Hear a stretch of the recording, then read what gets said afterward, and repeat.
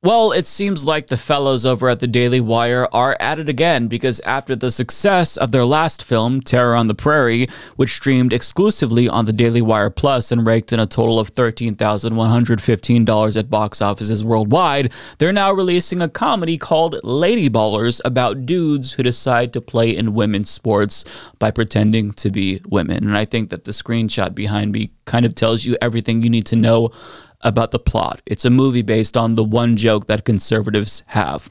Now, uh, this movie features cameos from Ben Shapiro, Ben Shapiro's female doppelganger Brett Cooper, and Michael Knowles, Matt Walsh and Drag, the old guy from the Daily Wire, Jeremy Boreing, the CEO of the Daily Wire, U.S. Senator Ted Cruz, and even Riley Gaines. Now, for those of you who don't know, Riley Gaines is the NCAA swimmer who tied for fifth place with Lia Thomas, a trans woman, and even though four other cis women beat her, she has managed to turn her being a sore loser into an entire career. And she's not necessarily mad at the cis women who beat her, she's specifically mad at the trans woman who she tied with. But now she's starring in a movie where she'll be able to live out her fantasy maybe as winner or runner up. Who knows? We'll have to wait and see. Now, it might seem weird that the Daily Wire made a movie and just put themselves in the movie, but I can assure you that they all have extensive acting experience. For example, here's a role that Michael Knowles played before he became a conservative commentator.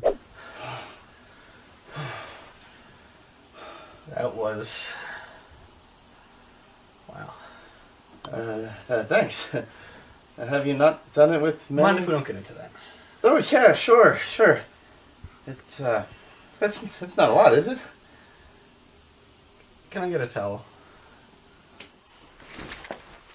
You uh, want my number? Um, yeah, uh, sure.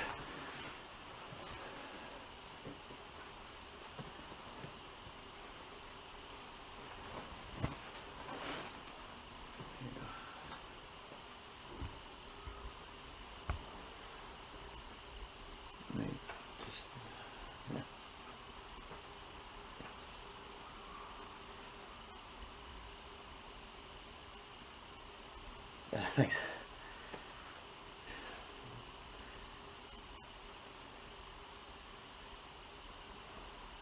riveting. You know, it's really hard to understand why his acting career never took off. Now, I don't think that I could play the full trailer due to copyrighted music that it contains, but I will link to it down below if you want to watch the full thing.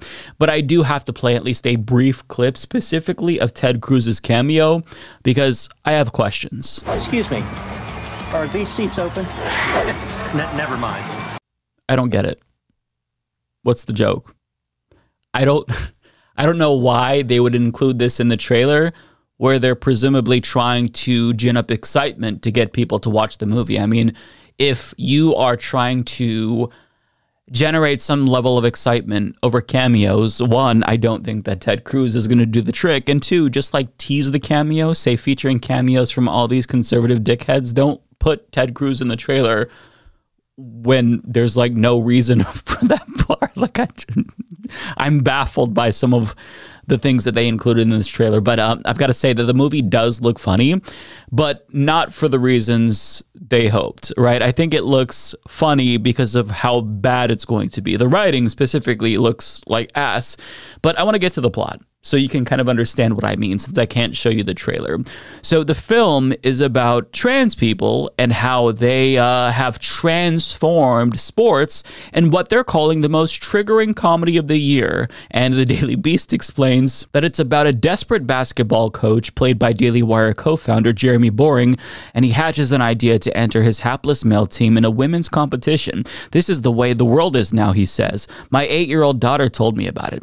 In the next scene, said daughter is delivering a conservative's parody of gender politics to the team. So a guy can become a girl with no physical changes at all? Boreing asks her. Oh, that's called being gender fluid, a tiny blonde child actor answers, smiling.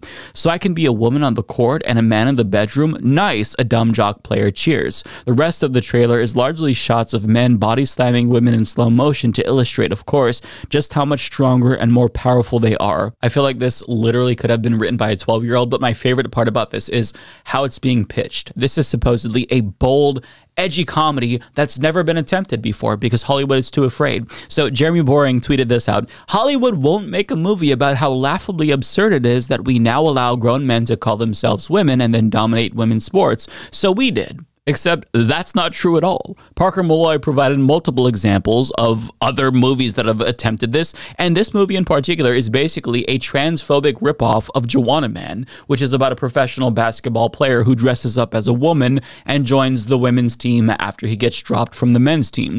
And it was not good at the time because once the absurdity of man pretends to be woman wears off, you kind of get bored, so you need different jokes to keep it entertaining. And the writing of that movie wasn't even good. So the Daily Wire is basically making an entire film using the absurdity of, oh my God, a man competing in a woman's team, and then trying to use dick and ball jokes to carry them throughout the film. But it's going to get tiring even for your most avid supporters if you don't switch it up. And no, I don't have the confidence that they're going to be able to competently write to make it actually funny or even enjoyable for the people who are transphobic and will enthusiastically watch this. But they're pretending like they're breaking new ground when this was already done in the fucking 2000s or the 90s. And a lot of people pointed this out and they mocked this film relentlessly as a result because it lacks creativity and it's just fucking stupid. For example, Cody Johnston pointed out all the best comedies stem from political commentators being absolutely furious. Exactly. you know, it's going to be great. Mia Moore says this movie is so cooked because even the broiest man dresses as a woman in hijinks ensue movies ended with the men learning a lesson about how much harder it is being a woman and dealing with misogyny. And this movie can't do that because conservatives are incapable of empathy. Dr. Mike Crisis says this is Juwanna Mann erasure. Proof you can give conservatives $10 million and it's still impossible for them to write a joke. You know it's going to be good because they cast their CEO as the main character. they made an entire movie on their one joke. Damn, they got like everybody who wants to inspect your teen's genitals in the same movie. Now, look, to be fair, some people were enthusiastic about the film. Roseanne Barr, for example, asks when and where she can see it, although if she watched the full trailer, they would tell you it's on the Daily Wire Plus, but uh, apparently she didn't watch till the end, which tells me that um yeah, she definitely wants to see it. And Tim Pool says LOL OMG, so it got the coveted Tim Pool endorsement. So to be fair, you had a lot of people mocking it, but then again, there were a lot of conservative sycophants who happen to hate trans people who uh, seemed pretty enthusiastic about seeing conservatives say the one joke that they have again and again and again. But in reality, the goal of this movie is not to make people laugh. That might be their secondary goal, but it's not why this movie was created. The Daily Wire does not have billionaire funders so that way they can entertain people and make them laugh. The goal is to disseminate propaganda. The movie was created by and for transphobes specifically to sell people this caricature of trans people in order to generate transphobic beliefs. That's the goal, not comedy. Hence the shit writing. Now, the extent to which they're going to be able to sell audiences on this film is debatable considering the fact that this is only going to be uh, given to their pre-existing audience as far as i know. It's just going to be a daily wire plus exclusive. So they might just be preaching to the choir here but ideally they want you to watch this film and see trans people through their transphobic lens.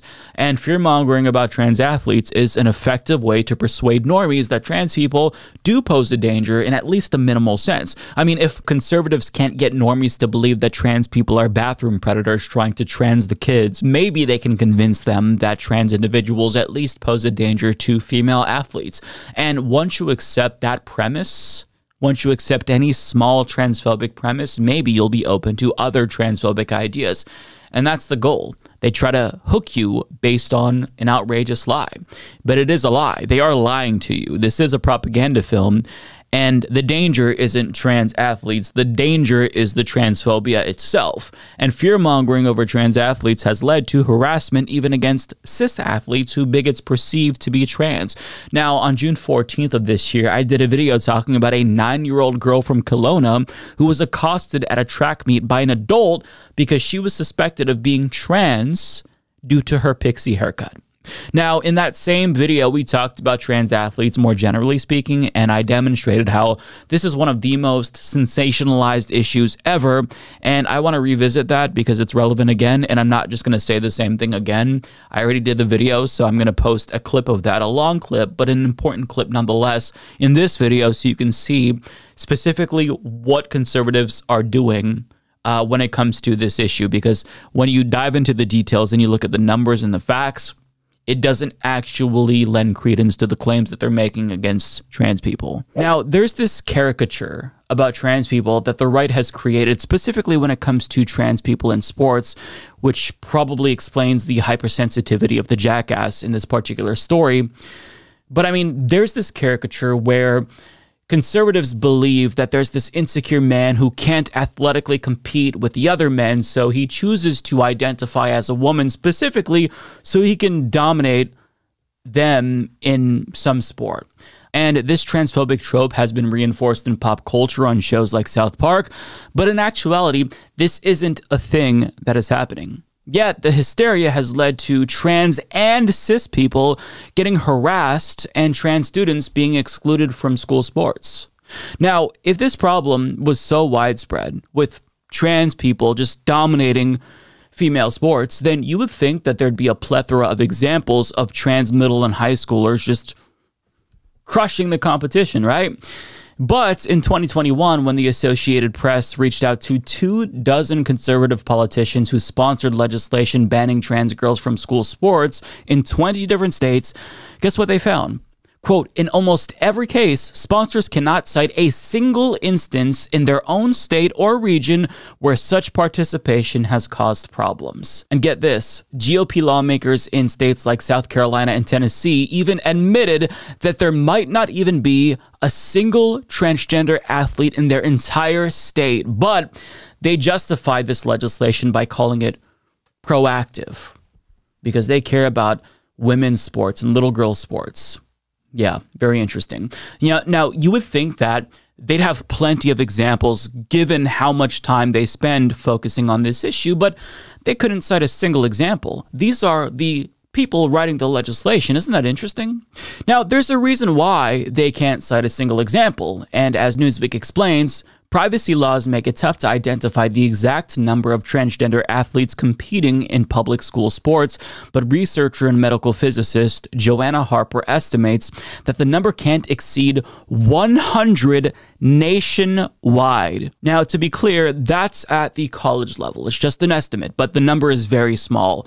But what about K through 12? Well, Harvard Law's Alejandra Carballo, who's been tracking anti-trans legislation now for years, estimates that there is only 50 trans athletes in schools nationwide. Furthermore, Newsweek continues, Gillian Branstetter, a spokesperson for the American Civil Liberties Union, said the number of transgender athletes isn't comprehensive, but she's also certain it's a very small portion of the nation's population. Brandstetter told Newsweek that Save Women's Sports, an organization advocating for banning transgender athletes from competing in girls' sports, identified only five transgender athletes competing on girls' teams in school sports for grades K through 12. Now, I want to stress that the organization, the main organization dedicated to advocating that trans girls should be banned from playing school sports, can name just five trans athletes competing on girls' teams. It's a big country, and all they could find just five examples. In other words, there are more Americans who were literally bitten by a shark than there are trans athletes at the K through 12 level. In fact, the total number of trans athletes barely surpasses the average number of people struck by lightning every single year, which is 28 by the way. And sadly, you are statistically far more likely to die from gun violence in this country than you are to even encounter a trans athlete.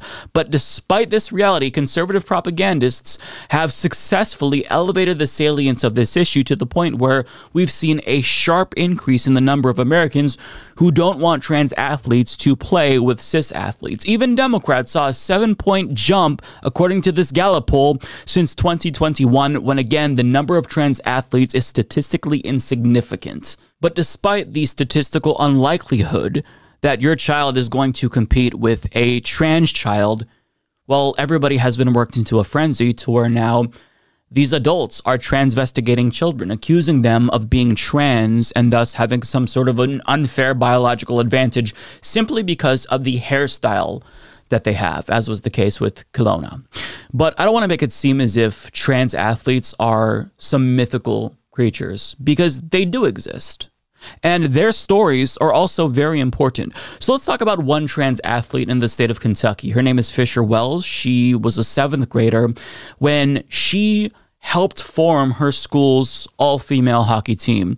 Nobody really was playing, but she got her friends together. They created a league for themselves. And when she learned that her state lawmakers were proposing a ban on trans athletes in school sports that would affect her, well, she decided to speak up. And I don't want to share her story. I'm going to let her share her own story because this is important. I'm Fisher Wells, and I would like to tell you my experience um, on the Westport girls field hockey team. Before, um, well, after COVID, and we were just getting back in, the girls field hockey team barely existed. It was just a thing that Westport had that nobody joined because everybody wanted to play like volleyball or something. Um, but then uh, three people signed up. Uh, one of them was me, and I tried my very hardest to get the minimum amount of people for the team, and we got that. And on our first game, I got news that I couldn't play, and so I didn't play. I sat at home um, watching television. Um, and then I got so many texts from my friends supporting me, and then, yeah, I got these wonderful pictures. We tied on that game, barely, by the way, which was fun. Um, but later it was resolved, and then I started to find out how disgusting the reason I couldn't play was. I really don't want this bill to pass because that means I can't play, and it will be extremely detrimental to my mental health as well. Um, because I know that sports is a great way for me to cope with things. Like, it's just a good way for me to cope with things. Um, and it's why I recovered so very quickly from not being able to play because later, like a few days later, I found out I could play and I was able to play and have fun and like every like my coach was crying. Like she was like, "Oh my god, Fisher." Um I just it's disgusting that this bill is even suggested it's terrible, and I've worked really hard and practiced so many hours. Um, I hope you don't vote on this bill, and I hope I can play in eighth grade. Thank you. So I referenced the Associated Press report about how Republican lawmakers couldn't cite any examples of trans athletes causing disruptions at their schools. But in theory, it's much harder to pass a really cruel policy like these trans athlete bans when you see the face of the person who you're going to be affecting, right? And because Fisher is the only known trans athlete in her state, this law would literally just affect her. So she showed up to tell her story and say, please, let me play with my friends. But even though this little girl took the time to explain to Republican lawmakers in Kentucky that the girls' hockey team, one, would not exist without her, and two, that her friends wanted to play with her, do you want to know what those Republicans did? Guess. They voted overwhelmingly in favor of banning her from the team that she helped to create. In fact, they overrode the governor's veto, even though they knew the law would affect one child in seventh grade who was hoping to be able to play in eighth grade. Now, maybe Fisher's story resonated with you, maybe it didn't, but I know exactly what you're going to say if you are not inclined to support trans people. You're going to say, Mike, we have to prevent these trans girls from playing with cis girls in order to maintain fairness and protect women's sports. We've heard this a lot. But here's the thing the people who are passing these laws, they don't actually care about women's sports or girls' sports. And I say this because if they did, then where the fuck is their outrage for things like this? I got something to show y'all. So, for the NCAA March Madness, the biggest tournament in college basketball for women, this is our weight room. Let me show y'all the men's weight room.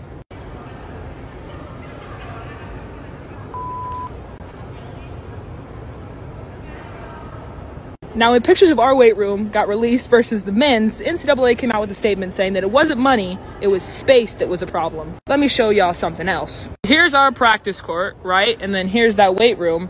And then here's all this extra space. If you aren't upset about this problem, then you're a part of it.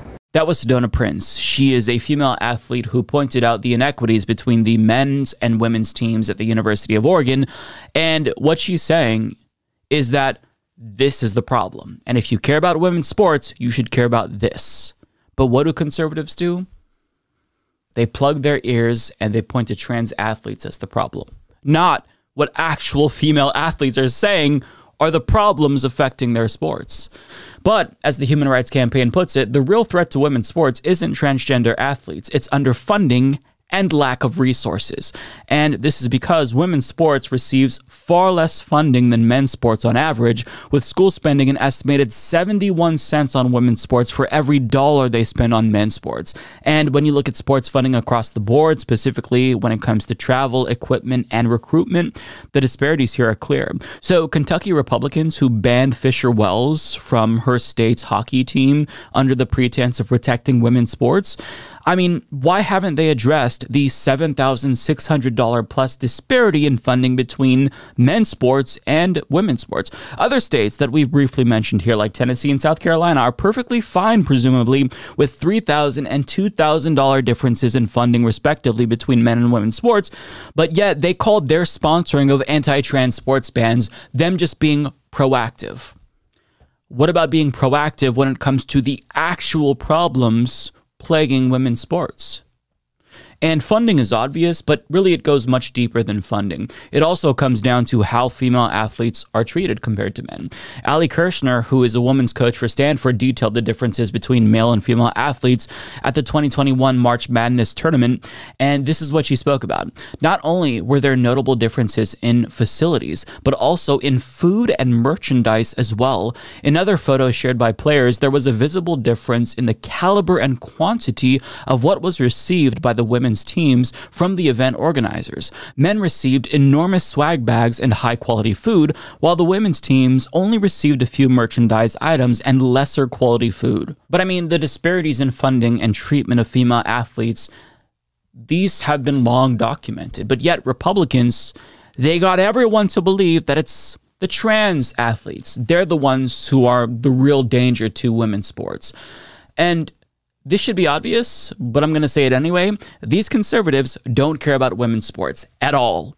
Period. They concern troll about fairness in women's sports as a pretense to push transphobia, and that's why they do it. That's why they talk about this. That's why they make movies about it. The goal is to manufacture transphobic beliefs so they can then create a solution to a problem that doesn't actually exist. And they do enjoy cruelty for cruelty's sake, but the primary reason why they do this type of propaganda is to gin up a sort of wedge issue, create culture war hysteria over this issue to drive Republican voters to polls.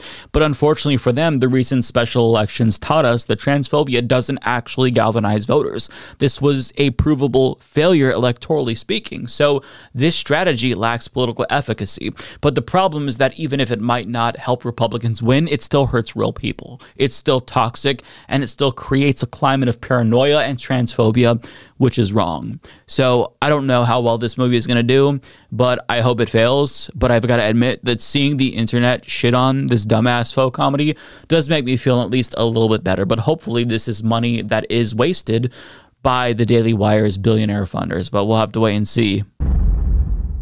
Penis and balls. Vagina. Penis and balls. Vagina. P word and balls. Vagina. P word and balls. Vagina. Ass. Gum. Ass. Gum. Ass. Gum. Vagina. She stroked my face with the Vagina. She stroked my penis and balls.